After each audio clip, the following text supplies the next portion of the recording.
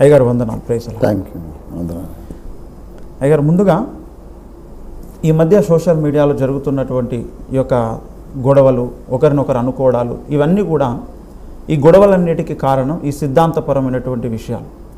అసలు యేసుక్రీస్తు ప్రభువుల వారు సిద్ధాంతం గురించి ఎక్కడ మాట్లాడారు? ఈ సిద్ధాంతాలంతా అవసరమైనవి కాదు. ఈ సిద్ధాంతం అని మాట్లాడిన ప్రతిసారి గొడవనే జరుగుతుంది ఐక్యత రాదు. కాబట్టి ఈ సిద్ధాంతాలు మనకు అవసరం లేదు అనే ఒక అండర్స్టాండింగ్కి వస్తున్నారు కొంతమంది. ఈ సిద్ధాంతాలను మనం వదిలిపెట్టాలనా? పట్టించుకోకూడదా? అందు చాలామంది సేవకులు ప్రాస్పారిటీ చెప్తున్నారు. దేవుడు ఆశీర్వదిస్తాడు దీవిస్తాడని చెప్తే వాళ్ళకు వేల మంది లక్షల మంది విశ్వాసులు వాళ్ళ దగ్గరికి వస్తున్నారు. వాళ్ళు త్వర త్వరగా వారి యొక్క చర్చ్ గ్రోత్ అవుతున్నట్టుగా కనబడుతూ ఉంది. అసలు వాస్తవం ఏది? ఇప్పుడు అసలు ఏది మనం చూజ్ చేసుకోవాలి? చాలా మంచి ప్రశ్న అడిగారు మార్క్ బాబు గారు.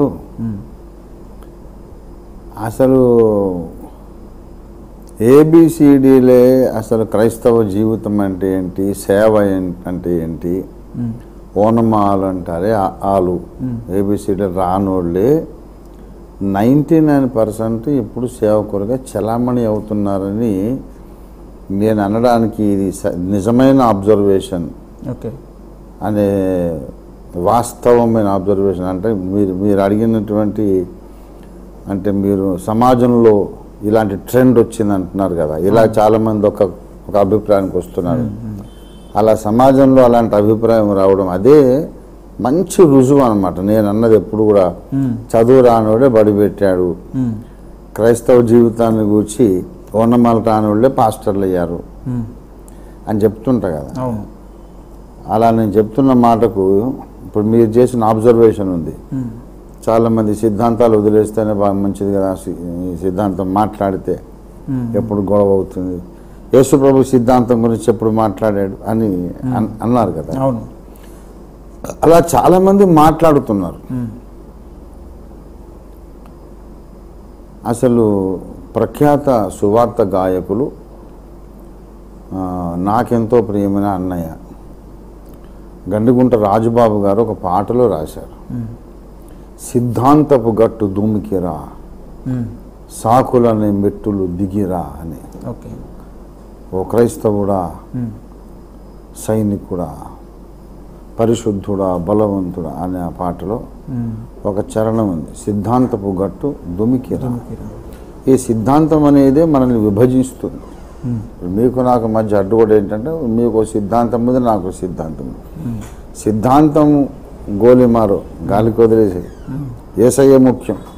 అనుకొని నువ్వు దుమికితే అయిపోతుంది అందరం ఐక్యంగా ఉంటామనే భావన. ఇవాంజలికల్ యూనియన్ స్టూడెంట్ యూనియన్ వల్ల ప్రభావితుడు రాజ్బాబు గారు. ఓకే. ఇప్పుడు ప్రముఖ స్థానాల్లో ఉన్నటువంటి అనేక మంది క్రైస్తవ నాయకులు కూడా ఈయూ వల్లనే ప్రభావితులు. ఎందుకంటే గ్రాడ్యుయేట్స్ మధ్యలో వాళ్ళు కాన్సన్ట్రేట్ చేస్తారు కాబట్టి. మ్మ్. తర్వాత వాళ్ళు మంచి ఉన్నతమైన పదవుల్లో ఉంటారు వాళ్ళ మైండ్ ఐడియాలజీ మైండ్ సెట్ ఏంటంటే డాక్టరీన్ అనేది అవసరం లేదండి జనరల్గా చాలామంది. అనుకుంటున్నారు అయితే with all due respects to everyone అందరినీ నేను గౌరవిస్తున్నాను నేను యథార్థంగా నమ్మేది ఏంటంటే ఒక పోరాటం దేవుడు నాకు అప్పగించాడు కనుక. నేను ఇంకా క్షత్రియ ధర్మంగా క్షత్రియుడు కత్తి లేపితే అవతల ఉన్నోడు మామయ్యనా బావనా తమ్ముడా తండ్రి చూడడి. నామాన భేదం లేదు. అంతే. అలాంటి క్షాత్ర ధర్మంగా నేను రక్తము ఓడ్చకుండా ఖడ్గముది వాడు శాపగ్రస్తుడు అని ఇర్మియా చెప్పినట్టు. నేను ఎవరు గాయపడ్డా పర్వాలేదు ఎవరైనా గాయపడని.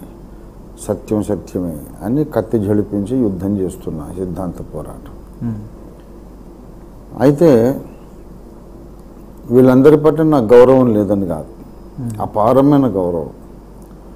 దేవదాసయ్య గారు భత్ సింగయ్య గారు వీళ్ళైతే నాకు దేవుని తర్వాత ఇక ఆ నెక్స్ట్ స్టెప్లో వాళ్ళే ఉంటారు. మ్మ్. వాళ్ళని తలుచుకోకుండా ప్రస్తావించకుండా వాళ్ళని ఘనపరచకుండా నేను ఒక్క రోజు కూడా నా లైఫ్లో గడవదు. ముందు నా తల్లిదండ్రులు తర్వాత ఈ ఆత్మీయ గురువులు. నా గుండెల నిండా వాళ్ళ పట్ల గౌరవం ఉంటుంది కానీ సిద్ధాంతం మాట్లాడాల్సి వస్తే నిర్ద్వంద్వంగా నిర్మోహమాటంగా మాట్లాడతాను ఇప్పుడు చెప్తున్నా ఏంటంటే ఇప్పుడు రాజబాబు అనే పేరు చెప్పా. అలాంటి పెద్దలందరికీ తగిన గౌరవాన్ని ఇస్తూనే నేను చెప్తున్నాను అసలు ఏసై సిద్ధాంతం గురించి ఎక్కడ మాట్లాడాడు. అన్నదే ఒక అజ్ఞానపు వాదన. అసలు యేసు ప్రభు వారు తన పన్నెండు మంది శిష్యులకు అప్పగించిన బాధ్యత ఏంటి? అప్పగించిన బాధ్యతను ద గ్రేట్ కమిషన్ అని అంటుంటారు. అంటే సేవార్థమైన బాధ్యతలు యేసు ప్రభు యొక్క ప్రాతినిధ్యం ఆయన ప్రారంభించిన కార్యక్రమం శిష్యులకు అప్పగించుట. అది గ్రేట్ కమిషన్. గ్రేట్ కమిషన్ అంటే అందరూ కూడా మార్కు సువార్త పదహారు అధ్యాయం పదిహేను పదహారు వచనాలు చెప్పుకుంటారు.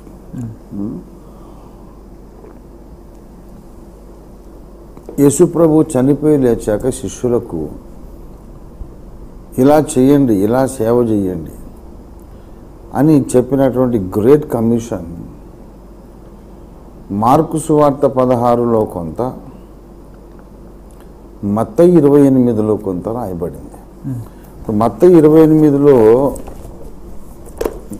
రాయబడినటువంటి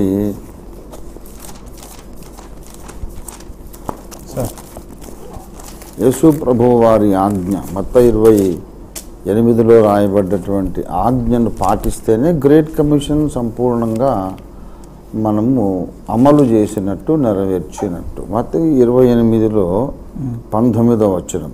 కాబట్టి మీరు వెళ్ళి సమస్త జనులను శిష్యులనుగా చేయుడి.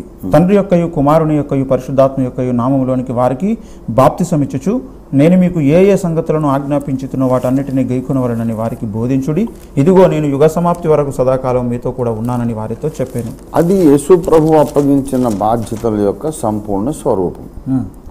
The complete form of the great commission okay. Mark సువార్త పదహారవ అధ్యాయము పదిహేను పదహారు వచనాలు. మరియు మీరు సర్వలోకమునకు వెళ్ళి సర్వ సృష్టికి సువార్తను ప్రకటించుడి. నమ్మి బాప్తిసం పొందినవాడు రక్షింపబడును నమ్మని వానికి శిక్ష విధింపబడును. నమ్మిన? అది. ఈ పదిహేను పదహారు. అది యేసు ప్రభు అప్పగించిన బాధ్యత. సర్వలోకానికి వెళ్ళాలి సర్వ సృష్టికి సువార్త ప్రకటించాలి. అంతే సిద్ధాంతం ఎందుకు అంటారు? గ్రేట్ కమిషన్లో సగం ఇక్కడ ఉంది సగం ఏమో మత్తయిలో ఉంది. ఇప్పుడు మత్తయి సువార్తలో చెప్పింది ఏంటి? ఇప్పుడు మార్కు మత్తయి కలిపి చదువుకుంటే కానీ నాలుగు సంగతులు కనబడతాయి. ముందు సువార్త ప్రకటించాలి నంబర్ వన్. రెండవది ఇక్కడేమో శిష్యులనుగా చెయ్యాలి.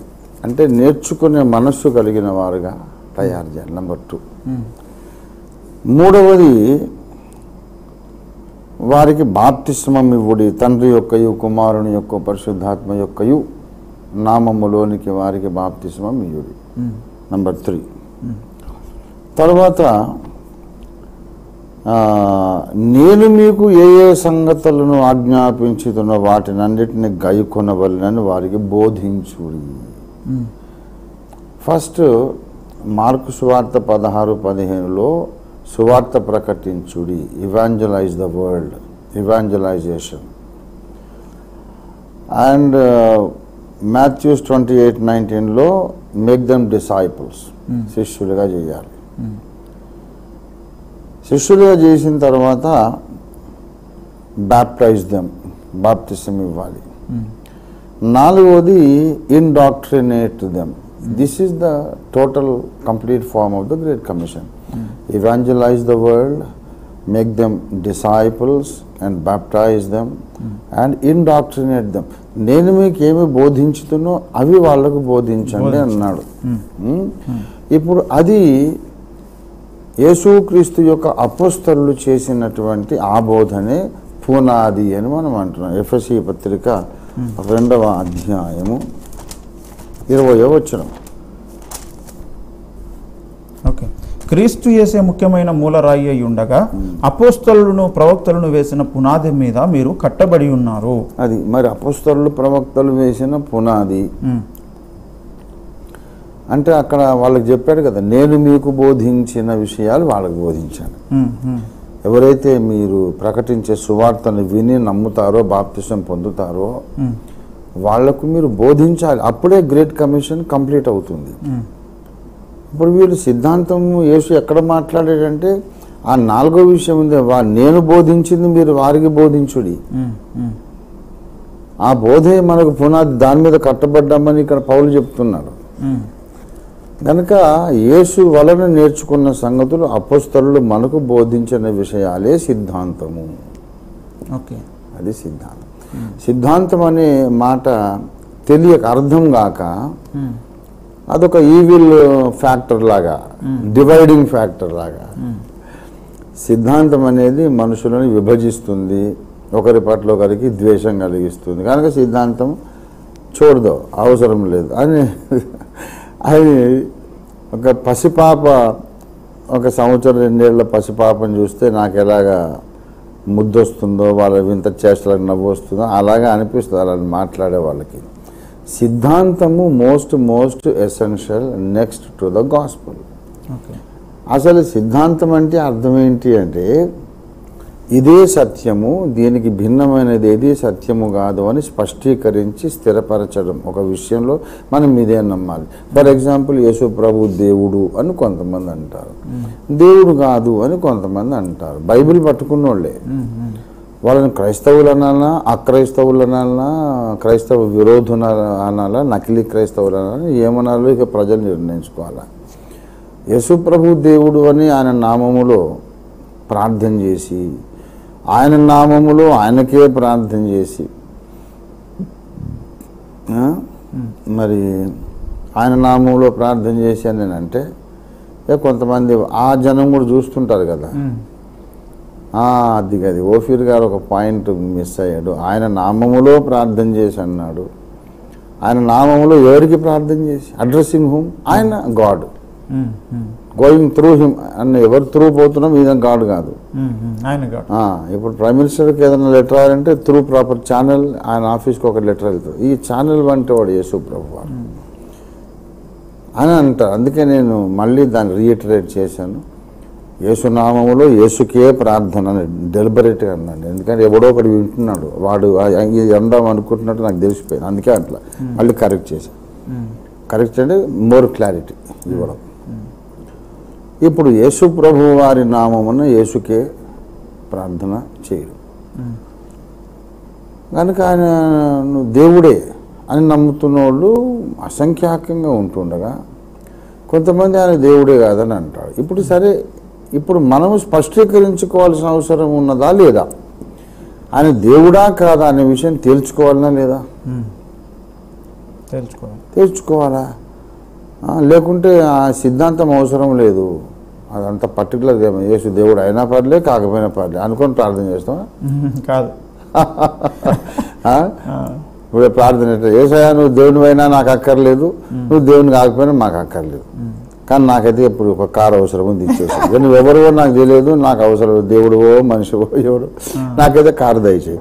అని ప్రార్థన చేస్తే అది ఏం రకమైన ప్రార్థన? హౌల ప్రార్థన అంటుంది ప్రార్థన. కాబట్టి. నువ్వు అడ్రస్ చేసేటప్పుడు నువ్వు దేవుడిని అడ్రస్ చేస్తున్నావు? ఆ దేవుని కంటే ఒక తక్కువైనటువంటి ఒక మధ్యవర్తిని అడ్రస్ చేస్తావు మైండ్లో క్లారిటీ ఉండాలి. క్లారిటీ ఉండడం కొరకు యేసు దేవుడే.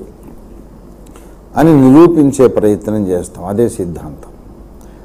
బైబిల్లో కొన్ని వచనాలు ఆయన దేవుని కంటే కొంచెం తక్కువ వాడు అనే భావం వచ్చేటట్టుగా ఉన్నాయి. ఆయన చెప్పిన మాటలే ఉన్నాయి.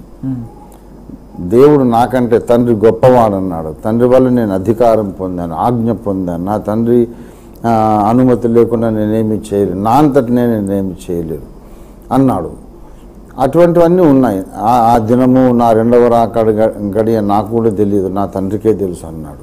కనుక he cannot be God he lesser than God greater than angels but lesser than God అనేవాళ్ళు ఉన్నారు. అయితే అలాంటి మాటలు ఆయన అవతార సమయంలో రిక్తునిగా చేసుకున్నప్పుడు మాట్లాడినాడు. అయితే రిక్తునిగా చేయక ముందు ఆయన దైవ సమానుడు మళ్ళీ అవతారము పరిసమాప్తి జరిగించి మళ్ళీ వెళ్ళిపోయినాక మళ్ళీ ఆ పాత మహిమ మళ్ళీ వచ్చింది. Jesus Christ is his God and man at the same time complete man and complete God అని ఇట్లా వివరించి యేసుని అడ్రస్ చేసేటప్పుడు దేవుడు అనే స్థానములోనే ఆయన అడ్రస్ చేస్తే నీకు ప్రార్థన ఫలవంతంగా ఉంటుంది. దేవుడు కాదు అనుకొని ప్రార్థన చేస్తే అది దేవదూషణ కింద పరిగణించబడుతుందని మన శిష్యులకు మన శిష్యులుగా చేసినటువంటి వాళ్ళకి మనం నేర్ నేర్పించుకోవాలి కదా. నేర్పించుకోవాల్సిన అవసరం ఉంది. అదే సిద్ధాంతం. బాప్తిస్మం ఉన్నది. అవసరమని ఒకడు అవసరం లేదని ఒకడు చిలకరింపని ఒకడు జెండా కిందని ఒకడు ముంచడమని ఒకడు అసలు అక్కరి లేదని ఒకడు అంటున్నారు. మరి ఇప్పుడు ఒక కొత్తగా ఒక మనిషికి మనం సువార్త చెప్పాం. ఏసే రక్షకుడని నిరూపించాం కన్విన్స్ చేసాం వాడు రక్షణ పొందాడు. పొందినాక వాడికి బాప్తిసం సంగతి ఏంది సార్ అని అంటే అదే ముఖ్యం కాదు బ్రదర్. బాప్తిసం పొందినా ఒకటే పొందకపోయినా ఒకటే చిలకరం పైన ఒకటే ముంచడమైన ఒకటే జెండా కింద అయినా ఒకటే. నువ్వేం పర్లేదు యేసు నువ్వు నమ్ముకున్నావు కనుక బాప్టిజం సింప్లీ డజన్ మ్యాటర్. అని వానికి చెప్తాం మనం. ఉమ్, చెప్పండి ఖచ్చితంగా బాప్సం కావాలని చెప్తాం. కావాలని చెప్తాము అది ఏ రకమైన బాప్టిజమో చెప్తాం అదే సిద్ధాంతం. మరి సిద్ధాంతం గట్టు దుమికిరా అంటే అర్థం ఏంటిది? సిద్ధాంతము is not dividing the community not dividing the body of Christ it is giving the body of Christ clarity what to believe what not to believe ఏది నమ్మాలో ఏది నమ్మకూడదో స్పష్టతనిచ్చేది సిద్ధాంతం. ఉమ్, పరిశుద్ధాత్మ కొరకు అడగాలా కనిపెట్టాలా లేదా? లేకుంటే పొందిందే చాలా. అనే విషయాలు స్పష్టత ఇస్తాం. అదొక సిద్ధాంతం. ఉమ్, ఇది ఇది నచ్చక కొంతమందికి అర్థం కాకనో ఇష్టం లేకనో విధేయత లేకనో సున్నతి లేకనో కొంతమందికి ఇష్టం లేదు. ఇష్టం లేక డివైడ్ అవుతారు. ఉమ్, యేసు ప్రభువుని కూడా వదిలేసి నా శరీరం తినాలి అని అంటే చాలామంది వదిలేసి వెళ్ళిపోయి మళ్ళీ ఎప్పటికీ ఆయన వెంబడించలేదు. కనుక కొన్ని సత్యాలు రుచించక అర్థం కాక కొంతమంది వెళ్ళిపోతారు. పోయేవాళ్ళు పోతారు. మనం చెప్పాల్సిన సత్యాలు అయితే చెప్పాలి కాబట్టి సిద్ధాంతము అనేది స్పష్టంగా చెప్పని సేవ అసలు సేవే కాదు. ఓకే. నువ్వు సువార్త చెప్పి రక్షణలో నడిపించినాక సిద్ధాంతమే కానీ ఇష్టమై నువ్వేమన్నా చేసుకో అని ఎవరైనా చెబితే ఈయనగాచి నక్కల పాలు చేశాడు అన్న సామెత వాళ్ళకు వర్తిస్తుంది. ఈయనగాచి నక్కల పాలు చేసిన అర్థం ఏంటంటే ఒక ఆవు ఈనుతుంది. చక్కని లేగదూడ పుట్టింది చక్కని ముద్దులు మూట కట్టే లేగదూడ పుట్టింది. ఆ ఆవు ఈనిందాక అక్కడే నిలబడి అన్ని జంతువులను తోలేసి తర్వాత ఈనిందాక కాచి కాపాడి వెళ్ళిపోయాడు. అక్కడ చుట్టూ నక్కలు తోడేళ్ళు పొంచి ఉన్నాయి. అవి వచ్చేసి దీన్ని పీక్కొని తినేస్తాయి.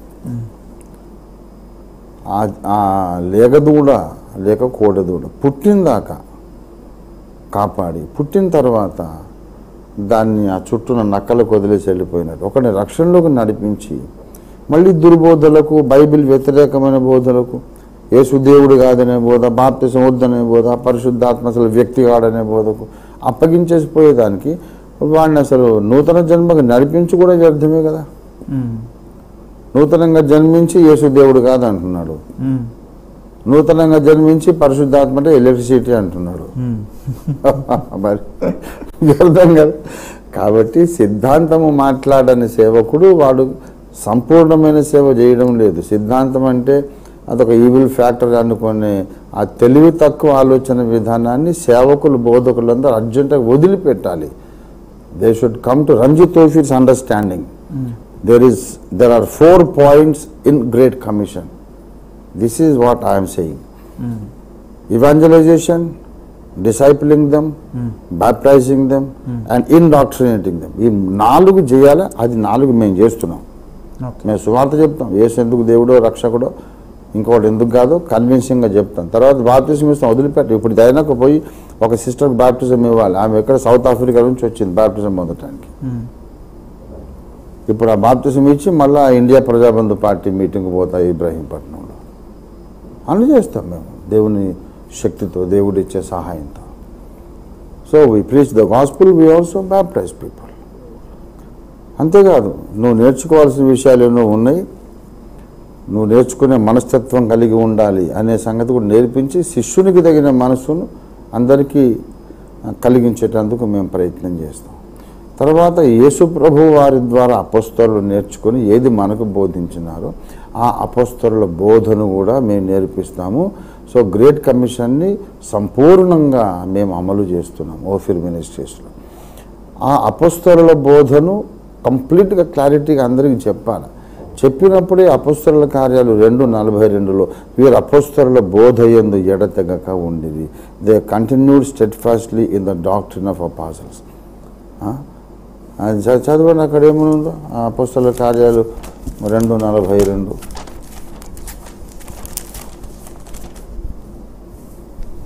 వీరు అపోస్తలుల బోధ ఎందును సహవాసం అందును రొట్టె విరుచుట ఎందును ప్రార్థన చేయుట ఎందును ఎడతెగక యుండిరి. నాలుగు విషయాల్లో ఎడతెగకుండా ఉండేది అందులో అపస్తరుల బోధ ఒకటి. ఆ. బోధే డాక్టర్ ఓకే. పరిశుద్ధాత్మని గురించి అపోస్తలు ఏం బోధించారు? యేసు దైవత్వాన్ని గురించి ఏం బోధించారు? యేసు రెండవ రాకడ గురించి వాళ్ళు ఏం బోధించారు? అదే డాక్టర్. అపోస్తలు ఇలా చెప్పారయ్యా ఇప్పుడు నువ్వు చెప్పింది చెప్పలేదు. శ్రమల కాలానికి ముందే ఎత్తబడుతుందని అపోస్తలు చెప్పలేదు శ్రమల కొరకు సిద్ధపడమని చెప్పారు అని వాదించడమే డాక్టర్. లేకుంటే లేకుండా మరి ఏం చెప్పాలి వీళ్ళ ఉద్దేశం? యేసు ఎప్పుడైనా రాని నీకు అనవసరం. నువ్వు మాత్రం నమ్మి బాప్తిసం పొంది ఉండంతే. శ్రమలకు ముందు వచ్చినా నీకు అవసరం లేదు తర్వాత అని అవసరం అని చెప్పాలనా అది కన్ఫ్యూషన్. ప్రతి విషయంలో నమ్మవలసిన విషయాలలో ఏది నమ్మటం? హండ్రెడ్ పర్సెంట్ వాక్యానుసారమో ఖచ్చితంగా తార్కికంగా లేఖనాధారాలతో నిరూపించి చెప్పడమే సిద్ధాంతీకరణ డాక్టరినైజేషన్. అది విషయం కనుక అందరూ ఇది గ్రహించాలని నేను త్రికరణ శుద్ధిగా ఆశిస్తున్నాను దేవుని ప్రార్థిస్తున్నాను. Thank you for that good question Mark Babu thank you so much sir sir ఇప్పుడు అపోస్తలుల బోధలో ఎన్ని పాయింట్స్ ఉన్నాయి? ఈ సిద్ధాంతంలో ఎన్ని పాయింట్స్ ఉన్నాయి? వీటిని ఏమైనా మనం లెక్కించగలమా? అదొక మంచి విషయం ఉమ్. ప్రధానంగా మంచి ప్రశ్న అడిగారు. అన్నిటికీ స్పష్టత ఇవ్వడానికే ఉమ్. మనం మినిస్ట్రీ చేస్తున్నాం. ప్రమాణవాక్యం అనే గ్రంథం కూడా నేను రాశాను. ఎవరు బోధించినా ప్రమాణవాక్యమును అనుసరించి బోధించాలి ప్రమాణవాక్యాన్ని ముద్రించి నా శిష్యులకు అప్పగించుము అని యశ్యా ఎనిమిదవ అధ్యాయంలో యశ్యాకి దేవుడు చెప్పాడు. మరి ప్రమాణవాక్యం అంటే ఏమిటి? ఇప్పుడు ముఖ్యంగా దేవుని రక్షణ సంకల్పము. అది ఎటువంటిదో ఎన్ని మెట్లు కలిగి ఉన్నదో మనకు తెలియజేయడానికి పాత నిబంధనలో నాలుగు సాదృశ్యాలు ఉన్నవి కొత్త నిబంధనలో రక్షకుణ్ణి గూర్చి చెప్పడానికి నాలుగు సువార్తలు ఉన్నాయి అలాగే పాత నిబంధనలో రక్షకుణ్ణి గూర్చి ఆయన వ్యక్తిత్వాన్ని సేవను గూర్చి మనకు చెప్పడానికి నాలుగు సాదృశ్యాలు ఉన్నాయి అవి నాలుగు సాదృశ్యాలు ఉన్నాయని కూడా పౌలే చెప్పాడు. ఇదంతా డిరైవ్డ్ ఫ్రమ్ ద స్క్రిప్చర్స్. ఏడు దినాల సృష్టి ఒక సాదృశ్యం. ఇస్రాయేలీల అరణ్య యాత్ర ఒక సాదృశ్యం. ప్రత్యక్ష గుడారం రక్షణకు ఒక సాదృశ్యం. ఏడు పండగలు ఒక సాదృశ్యం. ఈ ఏడు ఏడు ఏడు ఏడు అన్నిట్లో. అన్ని ఫస్ట్ స్టెప్ అంతా ఒక లెసన్ చెప్తుంది సెకండ్ స్టెప్ అంతా ఒక లెసన్ ఇదంతా ఇది వాక్య సారాంశ సత్యము. అపస్తరులు ఇందులో ఈ ఫ్రేమ్లోనే బోధన చేశారు అనే విషయం మనం అందులో నిరూపించాం. గ్రంథంలో ప్రమాణ వాక్యం అనేది. ఈ ఏడు పండగలు ఏడు సృష్టి దినాలు విశ్రాంతి పొందిన దినం కూడా కలుపుకుంటే ఆరు దినాల్లో సృష్టి చేసి ఏడవ నాడు విశ్రమించాలి. అది కూడా సృష్టికి సంబంధించి ఏడు దినాలని మనం వ్యవహరించాలి. ఈ నాలుగు టైప్స్ రక్షణ సాదృశ్యాల్లో సెవెంత్ స్టెప్ మీద ఉన్నవన్నీ ఒక లెసన్ చెప్తాయి. ఆరో మెట్టు మీద ఉన్నవన్నీ ఒక లెసన్ మనకు నేర్పిస్తాయి. ఫస్ట్ స్టెప్లో అన్నీ ఒక లెసన్ నేర్పిస్తాయి. అలాగే. ఈ ఏడు నుంచి ఆఖరికి మళ్ళీ మూడుగా దేవుడు చేశాడు. ఏడు పండగలు కానీ ముమ్మారు యహోవా సన్నిధిని మీరు కనబడాలి. అంటే అందులో మూడు విధాలుగా అంటే మూడు ఆ మూడు ఏంటంటే రక్షణానుభవమును గూర్చిన సత్యాలు. తర్వాత రెండవ రాకడను గూర్చిన సత్యాలు. ఈ మధ్యకాలంలో రక్షణ పొందిన విశ్వాసి ఎదిగే విషయం పరిశు పరిపూర్ణుడు పరిశుద్ధుడుగా పరిపూర్ణుడుగా మరి యేసు రాకడకు సిద్ధమయ్యే విధానం ఏంటి? దానికి ఏం చేయాలి? ప్రధానంగా అది ఎక్కువ పరిశుద్ధాత్మ దేవుని గూర్చిన బోధయి ఉంటుంది. ఇంకా కొన్ని విషయాలు కన్సర్న్గా ఉంటాయి. కాబట్టి ఈ ఆరు లేక ఏడు బోధలు అవి వాటిని మూడు మూటలు కట్టి రక్షణానుభవాన్ని గూర్చిన సత్యబోధ దాన్ని గూర్చి ఉన్న అసత్యబోధలు. ఓకే. పరిశుద్ధాత్మ అనుభవాన్ని గూర్చి ఉన్న సత్యబోధ అపస్తులిక బోధ దానికి వ్యతిరేకమైన అసత్య బోధలు రెండవ రాకడ అనుభవాన్ని గూర్చి ఉన్నటువంటి సత్యబోధ ఏంటి? దానికి విరుద్ధమైన అసత్య బోధలు ఎన్ని చలామణిలో ఉన్నాయి ఈ స్పష్టమైనటువంటి సత్యాన్ని ప్రతి బోధకుడు తెలుసుకొని ఉండాలి. ఆ బోధకునికి ఉండే ఆ స్పష్టమైన అవగాహనలోనే అతనికి అప్పగించబడ్డ లోకల్ చార్జెస్ పెరగాలి పెంచబడాలి. అది మనం చేపట్టిన ఉద్యమం. Let everyone know the truth clearly beyond the scope of further doubting or questioning or confusion ఎన్నాళ్ళ వరకు మీరు రెండు తలంపుల మధ్య తడబడుచుందరు? యహోవా దేవుడైతే ఆయన అనుసరించండి. లేక బయలు దేవుడైతే యహోవాను వదిలేసి బయలుని అనుసరిద్దాం. అటు ఇటు తెరుచుకుందాం రమ్మన్నాడు ఏలియా. ఇవాళ ప్రపంచ క్రైస్తవ సంస్థలన్నింటిలో ఏలియా లాగా అటు ఇటు తెలుసుకుందాం రండి అని పిలిచింది ఓఫిర్ మినిస్ట్రీస్ ఒక్కటే. మిగతా వాళ్ళందరూ ఆ సిద్ధాంతం ఎందుకు మనకు? యేసుప్రభు గురించి చెప్పడం మనకు మన విధి క్రీస్తుని ప్రకటించాలి కానీ సిద్ధాంతం కాదు. అనేవాళ్ళు ఉన్నారు. వాళ్ళు ఇంకా వాళ్ళు ప్రైమరీ చదువు చదువుతున్న బోధకులు వాళ్ళు. ఇంకా వాళ్ళు స్కూల్ ఫైనల్ కూడా రాలేదు. సిద్ధాంతం అనేది నీవు తెలుసుకోవాలి. సరైన సత్యబోధ సత్య సిద్ధాంతం అసలైన అపుస్తలిక బోధంటో ప్రతి బోధకుడు తెలుసుకొని తనకు అప్పగించబడ్డ శిష్యులకు అది నేర్పించాలి. అది సంపూర్ణమైన బోధ. అది దేవుని ఎదుట అగ్ని పరీక్షకు నిలిచే ఒక మేలిమి బంగారు సేవ. లేకపోతే ప్రతి బోధకుడు సిగ్గుపడతాడు. దేవుని ఎదుట సిగ్గుపడనక్కర్లేని పనివాడుగా నేను నీవే కనపరుచుకోవడానికి జాగ్రత్త పడమని పౌలు తిమోతికి ఎందుకు రాశాడు? అనేక మంది సిగ్గుపరచబడతారు కాబట్టే. ఈ సిద్ధాంతం మనకెందుకు అన్నోడాలా? అక్కడ పై పైకి పోయి తల దించుకుంటాడు. ఇది ఖాయం.